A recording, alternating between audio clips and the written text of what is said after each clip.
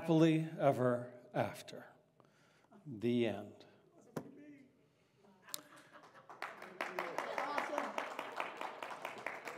Thank you for listening. See you next week.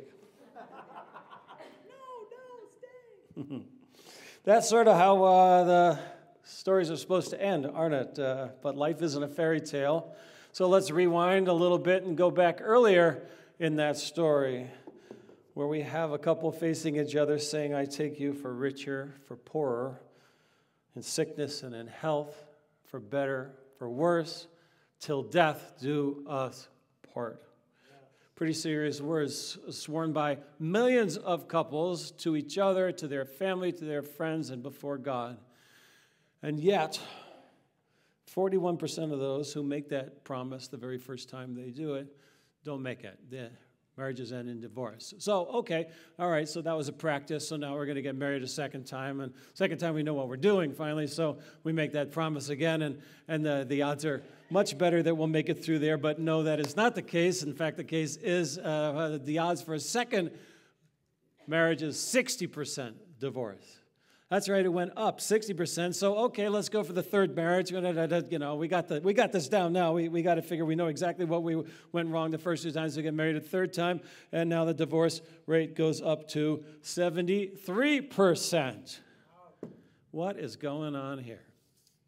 So, during the month of February, we've been looking at love, marriage, healthy relationships, and learning to do things God's way. Uh, my name is Rory. By the way, everybody say hi, Rory. Hi back at you. Hi to you all watching us on the YouTube channel. We are glad that you are part of the Springs family as well. And today we're going to talk about relationships, focusing mostly on husband and wife relationships, but that it works for everybody, what we're about to say here. So if you're married or you're single or you're divorced or, or you're soon to be married, this is for you.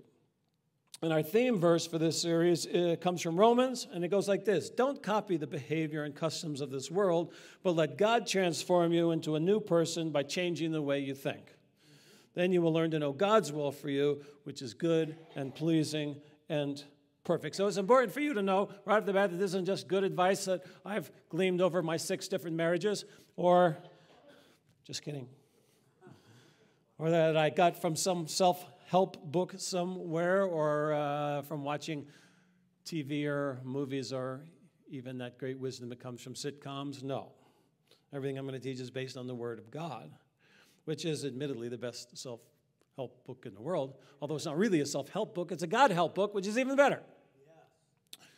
Today we focus on conflict. And if ever there was an area that we need God's help with, and, and to let God transform us in, this is it. Let's face it, conflict is unavoidable. But it doesn't have to escalate into World War III every time an issue comes up. There are ways to resolve conflict in a relationship, and that's what we're going to talk about today. I, I got to be honest with you, this is my wife and I, we have like the best marriage I know. Um, we have a great marriage, but does that mean that we never have conflict? No. Oh, yeah, we go at it sometimes. oh, yes, we do. Now, when we were younger, that most of our conflict came from the way to raise the kids. We just disagreed in that. Um, she was very, very, very strict, and me. Well, let me just put it this way. My wife used to say, you know, it's not easy raising three children. We only have the two boys, so I'm, I'm the third one. and let's face it, um, yes, I can be a big kid sometimes. Oh, what a surprise, Pastor Rory. We, we wouldn't have believed that. But um, it's important that, that, that she was way stricter, I was way more tolerant. And looking back on it now, I got to be honest with you, now that our boys have grown up and, and have families of their own, she was right. She was right. But at the time, conflict. Of course, today the kids are grown up and gone away, so there's no conflict at all in our marriage, ever. Boy, can you just stand up here and lie like that? Is that, a, is that okay at church? I don't think so. No, it's, of course it's not, it's not true because there will always be conflict from two people that live in the same house. There are five ways to deal with conflict my way, your way, halfway, God's way, or the highway.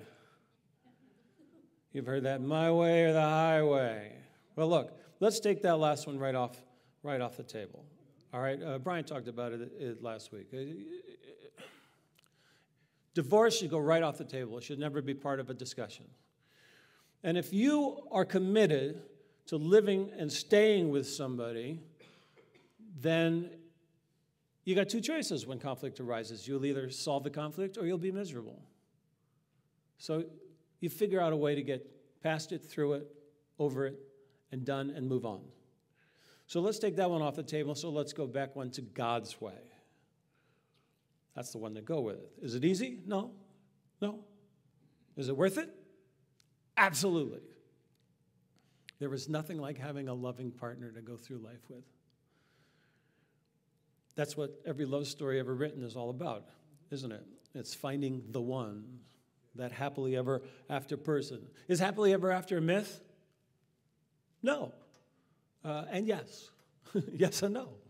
I mean, yes, because people think of happily ever after meaning happily at every single moment in your entire life. Of course, that's impossible. Um, every marriage uh, has problems in it. No marriage is a bed of roses, unless, of course, you're thinking of roses as like they have thorns, and if you don't handle, handle them carefully, you're going to get hurt. Then marriage is a bed of roses. But is happily ever after impossible? It's not.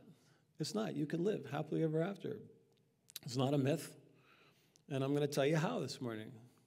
It takes work, it takes patience, it takes humility, forgiveness, flexibility, encouragement, expressiveness. It takes faithfulness, it takes strength, and it takes resistance to the world's ways.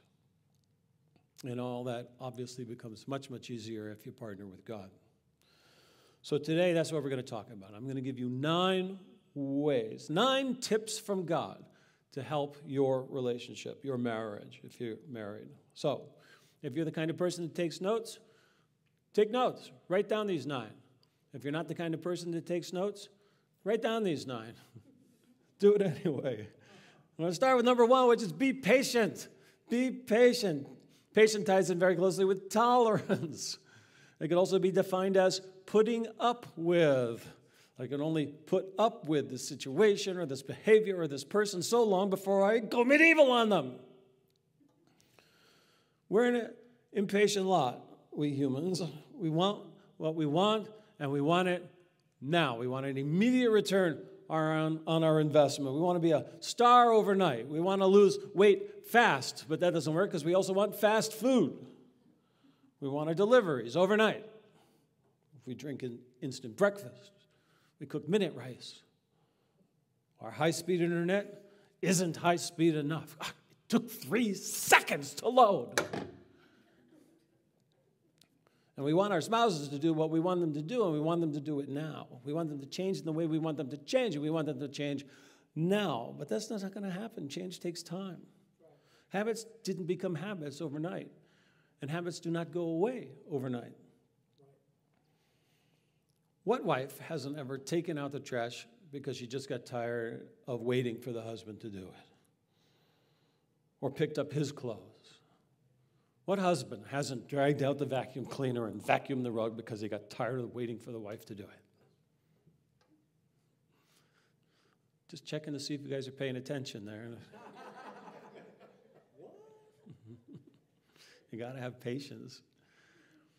Patience shows kindness and understanding and love. Ephesians says, Be completely humble and gentle. Be patient, accepting each other in love. Look, we, before we got married, we all put in like 10, 20, 30 years of forming habits that we had, developing our way of doing things. Now, I'm not saying that we have to acquiesce in the other person's way of doing things, but somewhere along the line, we're going to make a compromise and decide, okay, that's the way we're going to do it. But if, if the way you decide to do it isn't the way that they were doing it, it's not going to happen overnight. You've got to be patient with them. It takes time for habits to be changed. My wife has been very patient with me, waiting for my habits from before we were together to change for 30 years now. She's very patient. All right, the second thing is after be patient is be humble. Be humble. Jesus told us, Blessed are the meek, for they will inherit the earth. Not bad. And whoever exalts himself will be humbled. Well, that doesn't sound so good. yeah. But whoever humbles himself will be exalted. Paul says, Do nothing out of selfish ambition or vain conceit, but in humility consider others better than yourself. Each of you should look not only to your own interests, but also to the interests of others.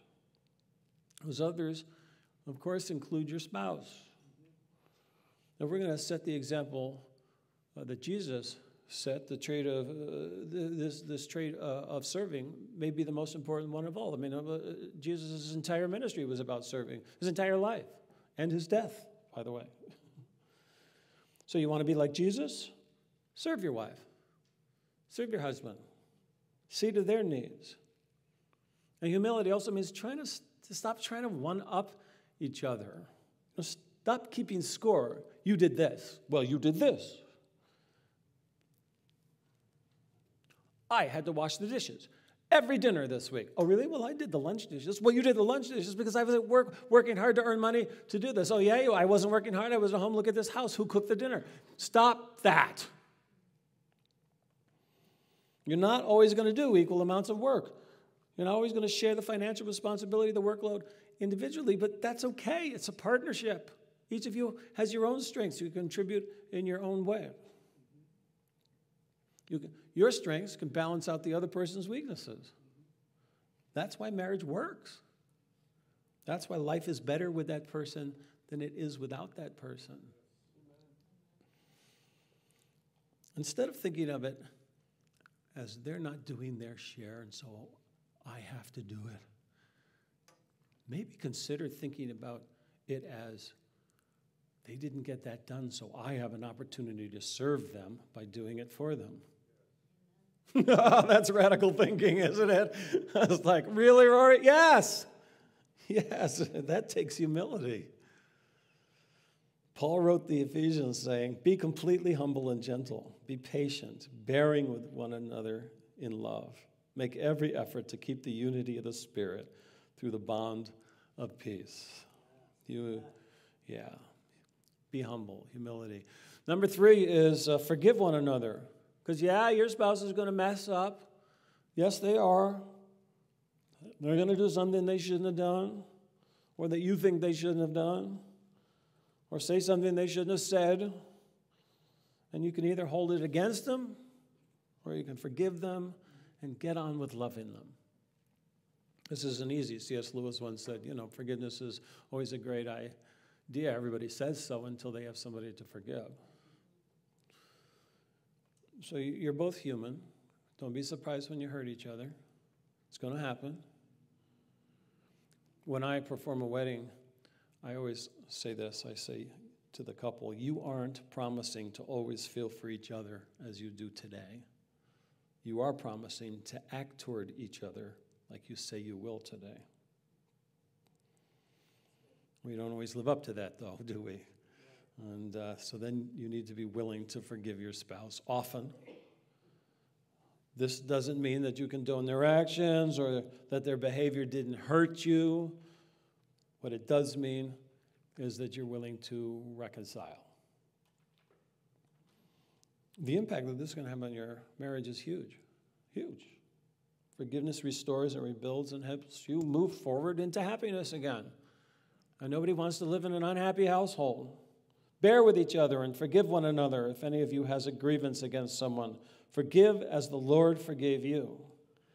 And Ephesians again says, Be kind and compassionate to one another, forgiving each other, just as the Lord God forgave you. Comes down to this. You want to be forgiven, don't you? You want to have the grace in there? Well, then you have to forgive others and give them grace. It's a two way street. All right, number four is seek to be flexible. Flexible th- things don't break as easy as inflexible things do. The mighty oak is known to fall when the wind hits it and knocks it over. But the willow tree, which is flexible, bends in the wind. When we were in uh, Venice, Italy, they have wonderful glass things there in Venice. And, and I was in a shop and they had a spider. And it's it, it's like the size of my hand, but the legs of the, it was made of glass, and the legs were as thin as the legs of a real, like, daddy long legged spider. I mean, it was like so delicate and cool looking. And I said to the guy, I would love to take that, but there's no way I'm going to get it back home to the United States without it breaking. And he said, Really? No, they're, they're actually pretty flexible. And he held this thing like this high above the glass counter and dropped it. And it went the glass was so thin, it was flexible. It was cool. And I have that at home because I did get it. But uh, as fragile as it was, it's the flexibility that kept it from being broken. Speaking in allegories here. you guys catching that? We need to be flexible with our time, our finances, our relationships. Why? Well, because things aren't always going to work out the way we wanted them to. I know of a couple that has a 20 year plan. They had a 20 year plan. And how do you think that worked out for them? now, there's nothing wrong with having a 20 year plan, but it did not play out the way they were thinking of it. But it's okay to have a 20 year plan. Sure, you, you know, plan ahead, but you got to be flexible because otherwise you're going to get heartbroken. You're going to be disappointed. Things are not going to be the way you wanted them to be. You're going to be like, oh. So you got to be flexible. It's not easy to be flexible. Dancers are flexible, gymnasts are flexible, martial artists are flexible. You know what? In order to get that flexible, they had to stretch. And you know, stretching is painful. Another allegory. I'm going to I'm gonna sleep slipping those in and just make sure you're paying attention. Look, accidents happen, illness happens, Nobody anticipates this. We all figure we're going to grow old and grow old together and strong in our relationship and okay and sound of mind and body. It doesn't work that way always. It just doesn't turn out that way. Life throws us a curveball. I, my day job, um, I work for a hospice. And my job is to visit with people that are dying. And that's what I do all day long. I go from person to person and I spend time with them. Uh, and, and these people, many of them have spouses uh, that are watching after them. It's amazing to watch. These couples did not anticipate that this would be the situation, that they would be changing the diapers of their spouse, or that they would have to roll, roll them over three times in the night so they wouldn't get bed sores, or that they wouldn't, their spouse wouldn't even remember who they are when they talk to them. Nobody signs up for that. But it happens. And what's amazing is these people step up and they are there. It's inspirational. My friend Jim's wife was hit by a car here in Vegas years ago. He uh, broadsided, boom, and she and got a traumatic brain injury, and she ended up basically uh, with the personality um, of a five-year-old. They were, they were not expecting that. He didn't sign up for that, but he did sign up for sickness and in health and better or for worse. And that wasn't so much a curveball that was tossed at him, it was a hand grenade. I mean, everything changed. All his plans changed that day, everything.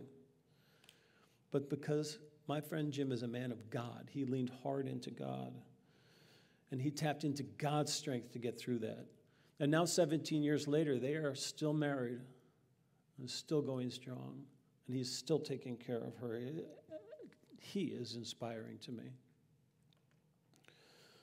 Deuteronomy says, Be strong and courageous. Do not be afraid or terrified because of them. For the Lord your God goes with you. He will never leave you or forsake you. If you can lean into God, He'll be there for you.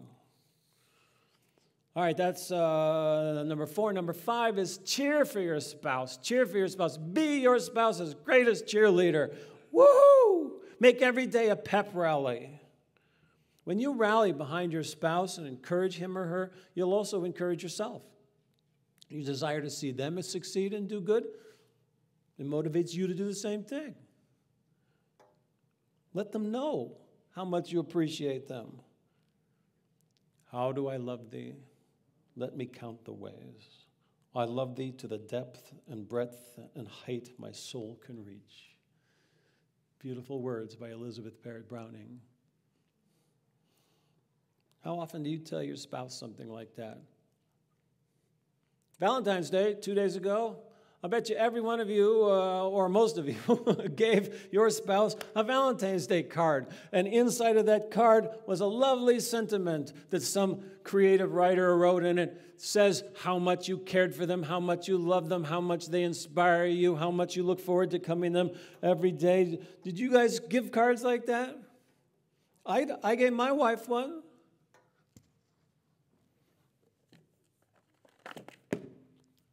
The wonderful woman I love.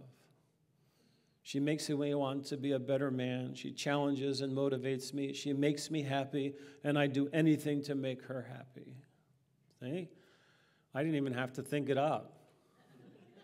of course, I did write something inside. Naturally, um, I wrote this How beautiful you are, my darling, and oh, how beautiful. Your eyes are doves. Your hair is like a flock of goats descending from the hills of Gilead.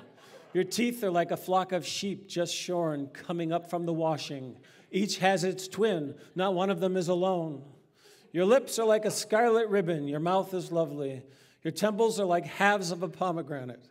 Your neck is like the Tower of David, built with courses of stone. On it hang a thousand shields of warriors. It's quite the necklace. Your breasts are like two fawns, like twin fawns of a gazelle that browse among the lilies. Until the day breaks and the shadows flee, I will go to the mountain of myrrh and to the hill of incense. You are altogether beautiful, my darling. There is no flaw in you. Heart, heart, heart, heart, heart, heart, heart, heart. Now, my wife read that and she laughed because she knows this is a quote from the Bible. This is right out of Song of Songs. And she laughed at that because uh, it was very funny. But after she laughed, she turned around and she said, And you don't forget that last line. There is no flaw in you. Remember that. Good reaction, I thought. Do you just do you just do that on Valentine's Day or do you do you do it every day? At our house, uh, I don't drink coffee, but my wife does, and there's a coffee pot, and the top of the coffee pot is flat and plastic and white. And so I have uh, some dry erase markers, and every day uh, when I start the coffee for her, when I get up before she does, I, I write a note on the top of the coffee pot. You know, things like, How do I love thee? Let me count the ways. One, two, three, four, five. I had numbers everywhere, all over the coffee pot all down the sides. Or you are special, or you rock, or always and always, or I love you so. Those are the things. I do that all the time. Do you do that for your wife? And not only should you tell her, but you should tell other people too how great your spouse is. You should let them know. We, we were sitting in a group one day talking with a group of people, and, and uh, one, one, one of them said to me, it was a, a lady that said to me, she said, You know what's one of the most attractive things about you? And immediately I got a little uncomfortable because it's like a woman saying that to me. And, uh, but she said, One of the most attractive things about you is the way you talk about your wife when she's not here.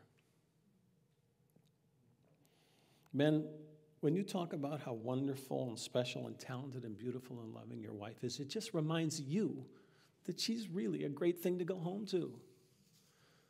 And ladies, when you tell your friends what a terrific, attentive, loving, hardworking, loyal husband you have, it reminds you of how lucky you are and that he's special. Thessalonians says, Therefore, encourage one another and build each other up. Your words have power they can inspire.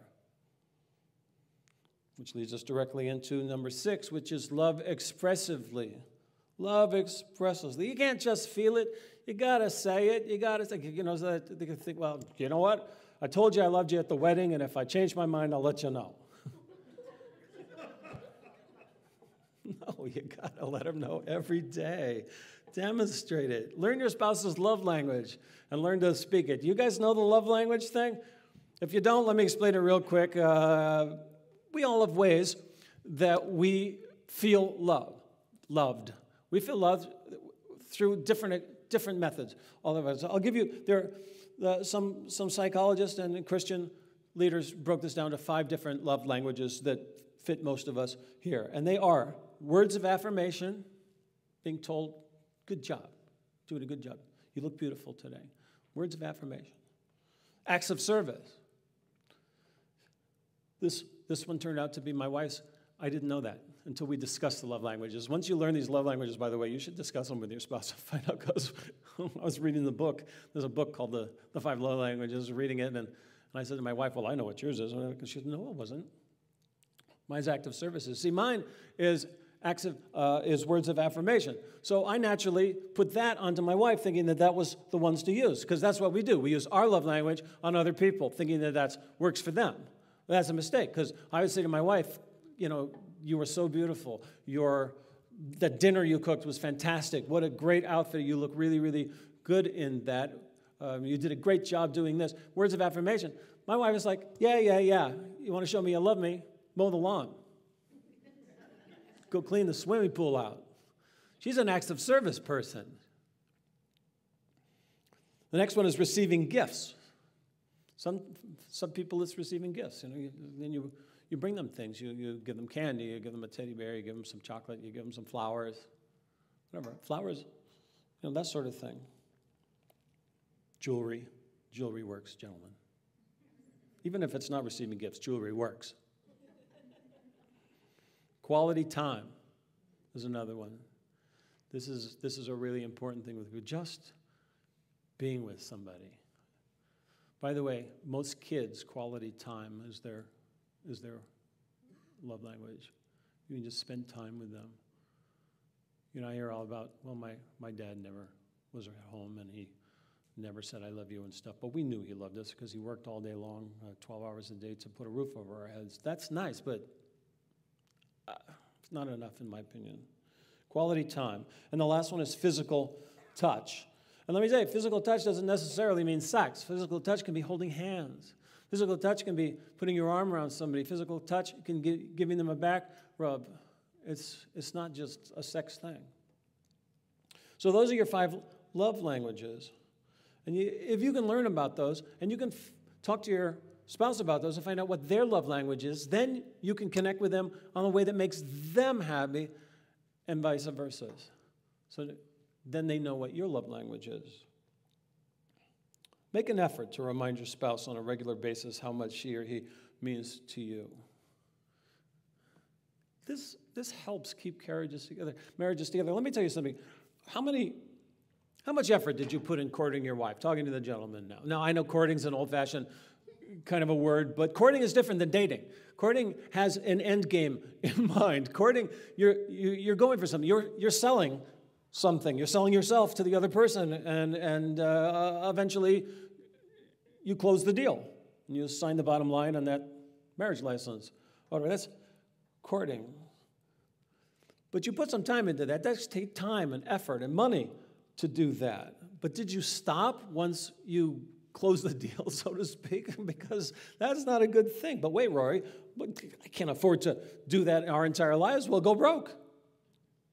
Not true. Little, very practical advice, gentlemen. How much actually does it cost to take your wife on a date once a month? Take her out to dinner, 65 bucks maybe. I know because I just took my wife out to dinner and it was $60. But if you can't afford $60 a month, I get that. I understand some people are just really on a budget. So how much does a bouquet of flowers cost? You, go to Albertsons and pick up a bouquet of flowers for under 10 bucks. That's, that's not very much money. Or if you don't want to spend that much, how about a teddy bear or a box of chocolates or a pint of her favorite ice cream. I like to go down to Baskin Robbins and, and pick up daiquiri ice for my wife because I don't like daiquiri ice, but she loves it, and it's just hers, and it's right there, and it's $5 for a thing like this, and it's ridiculously expensive, but it says something. It says something.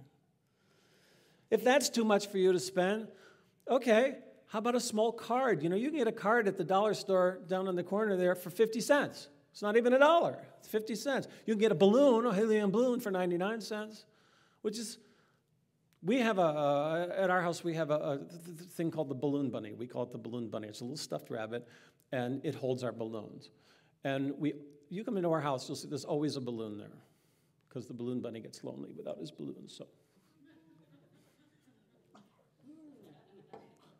But the, the balloon, depending on the season, balloon says Happy Easter, balloon says Merry Christmas, balloon says Happy Anniversary, balloon says I love you Valentine's Day. We have, right now the balloon bunny's holding two balloons because I got her a balloon, she got me a balloon. So I got my wife a, a happy anniversary balloon, and um, I got it to her in, in May. And by August, it was still there floating. Isn't that weird? The, the, it still remained floating for like three months. What she didn't know, uh, was I switched out that balloon for one exactly like it whenever it started getting like when like this balloon is amazing. It was a happy anniversary for three months. Doesn't cost much. And if it's still too much, if a dollar is too much to spend, then how much does it cost to put a little I love you note, stick it in the refrigerator where she's going to find it? It's, it's not hard to do these things. Or text. Text her some little hearts, little heart emojis. Or better yet, call her up in the middle of the day and say, I, I was thinking of you. By the way, this isn't just guys to women. Ladies, you can do this back to the guys. We don't mind. That costs nothing. How much does it cost to never leave the house without saying to your spouse, I love you, and giving them a kiss? Never leave the house without saying, I love you, and give them a kiss. So if something should happen to you, God forbid, you get killed in a car accident, the last thing you have said to your spouse is, I love you. I never leave the house without saying that, ever. How much does it cost to mute the TV when you're watching the TV and somebody comes over and your, your spouse says, asks you a question or something, just to hit the mute button and turn and focus on them. Now, oh, if you're in the, uh, you're in the middle of the big game, you don't want to do that. But you know what? There's this thing called TiVo. It is the greatest relationship invention ever built. For those of us that watch TV, because you can hit the button on TiVo and it freezes it right where it was, even if you're watching live TV, you can have the conversation, spend a minute focused on the person or two or however long it takes, you come back and you push the button, it picks up exactly where you left off. I told you this was going to be practical advice. Uh, it's important to spend time and effort on these sort of things. I was at a marriage conference, and the pastor came up to me and said, You know, you have to spend uh, time with you. you. You need to have a date night, he said, a date night every week. You need a date night. You go out, go to dinner, go dancing, see a movie. I said to him, My wife and I have a date night every week. Go out, have dinner, dancing, a movie. I go on Tuesdays, she goes on Thursday. that was a joke. All I'm saying is, show your love. The, the Bible does not just, don't just speak of love, but show love indeed. My children, we should love people not only with words and talk, but with actions and true caring. All right, number seven is be faithful. Be faithful. Now, there's two ways that I mean this. The first one is, is be full of faith. Be faithful. Be full of faith. Faithfulness is important to have in your relationship with God and with yourself. Have faith that God cares about you and He will fulfill His promises in your life. Have faith that He is powerful and He is all you'll ever need, really. Wives, have faith in your husband so he can learn to be the man that God desires him to be. And women have, men have faith in your wives that they can get, grow closer to God and, and therefore grow closer to you. Faith in God will get you through the worst times. I don't know how people do it, honestly, without it. I don't know how people do it. But the second way, I mean, to be faithful is the obvious one when we're talking about marriages. Be faithful. Intimacy should only be shared with your chosen person. Period. Nothing destroys a marriage faster than jealousy. There's a basic rule here don't be alone with anybody of the opposite sex other than your spouse. Don't call them on the telephone, don't text them, don't be Facebook friends, simple but effective. And First John says, For everything in the world, the lust of the flesh, the lust of the eyes, and the pride of life, comes not from the Father, but from the world. Which leads us to the last thing, which is resist life's temptations. Temptations are around us all over the place. Uh, they bombard us through television and billboards and movies and music and magazines and the internet and social media. Temptation, temptation, temptation. Corinthians says, Those who live according to the flesh have their minds set on what the flesh desires. Those who live according to the Spirit have their minds set on what the Spirit desires. The mind governed by the flesh is death, and the mind governed by the Spirit is life and peace. The mind governed by the flesh is hostile to God. It does not submit to God's law, nor can it do so. Those who are in the realm of the flesh cannot please God. You, however, are not in the realm of the flesh, but are in the realm of the Spirit, if indeed the Spirit of God lives in you. And if anyone does not have the Spirit of Christ, they do not belong to Christ. Flee from sexual immorality. You are not your own, you were bought at a price. Therefore, honor God with your body. In other words, he's saying, you want, you want to be a Christian? Then act like a Christian. And I'm not just talking about fleeing from sexual temptation, I'm, I'm talking about fleeing from other temptations, material things, or money, or power. These things all destroy a marriage. More marriages have been broken up over money than anything else. Uh, don't fall into that trap. Live within your means. Take a, a course on, on how to handle your money in a biblical, good way. Uh, don't try to keep up with the Joneses. The Joneses are drowning in debt. And what about power? Well, obviously, you shouldn't revel in your power over your spouse, you know, ordering them around, controlling them. I knew one couple, and whenever they went out, he would walk with his hand like this on her neck. You know, and it looked like he had his arm around her and looked very friendly, but he was controlling her.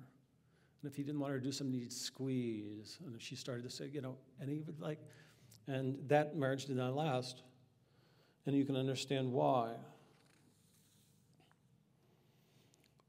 You do what I tell you to do, that just leads to resentment and very often abuse. So don't do that. But also, if you go to work and you have one of those jobs that is like, you know, a job that where people speak to you in a demeaning way, and you were ordered around and you were told do this and do that, and you feel like makes you feel small, don't go home and then try to make up for that by belittling and bossing around your spouse. That kind of power is never good. You never have to put your spouse down to build yourself up. Okie dokie. This is where the worship team can come back up if you're coming back up. And now, finally, we're in number nine, which is unite. Unite. Unite with each other, unite with God. Therefore shall a man leave his father and his mother and shall cleave unto his wife, and they shall be one flesh. Remember, you're on the same team. At our house, we call it Team Johnston, and we are a mighty team to behold. We unite, we are on the same team. We also unite with God. Having God in your life can make your marriage bulletproof. Attend church together, serve together, pray together, pray for each other. Get to know God and go to Him first and always let Him know how you're feeling. And if you're tired or weak of serving your husband, ask God for strength. If you're having a hard time understanding your wife's perspective, Ask God to give you understanding. Or if life is swirling around you both, you feel like your life is out of control, ask God to calm the storm and to help. Trust in Him.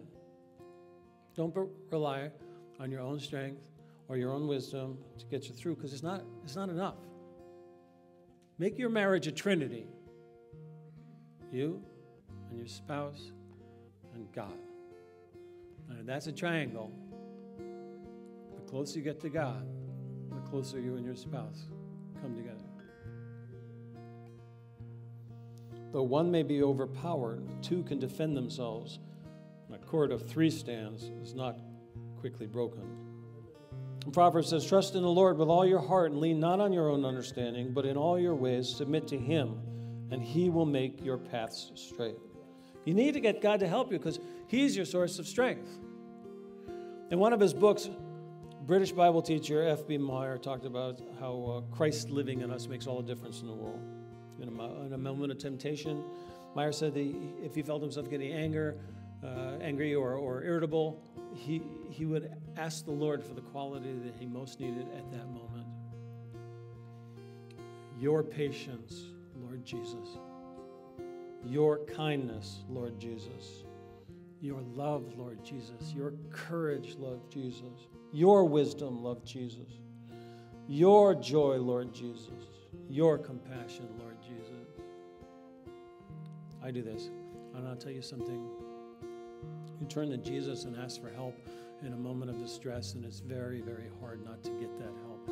You can't say, Your patience, Lord Jesus, and then turn around and snap at somebody or scream at the kids. It, it helps in that moment. Or your Lord loved Jesus. And then turn around and say something to your spouse. If you say that, your love, Lord Jesus, it's going to change you in, in a moment. I highly recommend this. Highly recommend this. What would happen if we all followed the advice that we talked about here today? What if we approached our marriages with patience and humility and forgiveness and flexibility? What if we were our spouse's biggest cheerleaders? What if we resisted life life's temptations and, and were faithful to our wedding vows? What if we li- relied on God for strength and wisdom uh, instead of trying to do it our way with our limited knowledge? What would happen? How would this change our lives and our marriages? Well, our marriages would be stronger our family relationships would bring us joy. We would be an inspiration to our children, and they would learn by watching us how to do relationships better, how to handle conflict in a good way. Every day would be a delight, and every married couple in this room could stay together and grow to old age together and live happily ever after. Yeah, I think we have time. I know there's a lot of couples in this room. I'm going to do something uh, just kind of different today. I'd like all the. I'm going to I'm going to run you through some we would call uh, marriage renewal vows. And if you want to participate, stand up, face your spouse, Take their hands, look in their eyes, and repeat after me.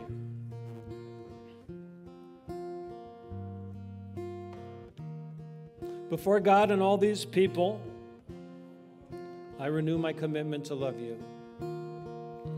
I promise to cherish you as God's gift to me,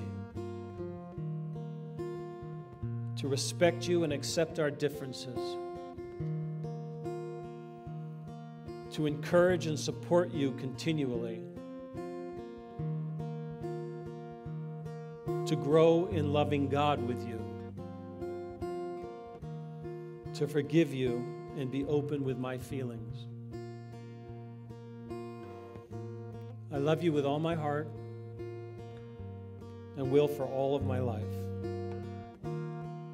With God's help, I'll make our home a place of joy as long as we both shall live. Amen.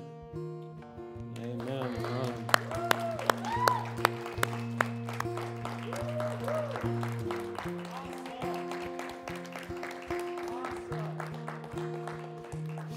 Hey, if you are um, just getting to know about this Jesus thing, if you haven't uh, quite figured it out, or if you have decided that today is the day that you want to step forward and say, uh, make a commitment to, to have Jesus lead your life, we would like to help you do that. And we're going to have a team of people down here uh, that are willing to pray for you as well. If you've got something on going on in your life that uh, you would like to pray about, or you know somebody else that has something going on in their life that you'd like to pray for them for, come on up. So let's invite the, uh, the prayer team on up here. There they are. there we go. All right. That's all right. We, we, as you can see from the, the very light group up here, we have a lot of sickness in our congregation today. So you get a moment, pray for health for everybody. I'd like to thank you all for coming, and, and uh, I'd like to pray this prayer. Father God, thank you so much for being the Father that you are for loving us so much, and for sending the example of Jesus down and how to serve. And we know that being in a marriage is a position of servitude. We serve our spouses, we love our spouses. Help every marriage in this room be strong. Help every marriage that isn't for someone in this room that will come in their future be strong. We ask you to guide us as we lead on you. We hope that you can help us take the words of all these words of encouragement that came from you today and, and put them into practice today, tomorrow, and forever. We pray in the name of Jesus. Amen.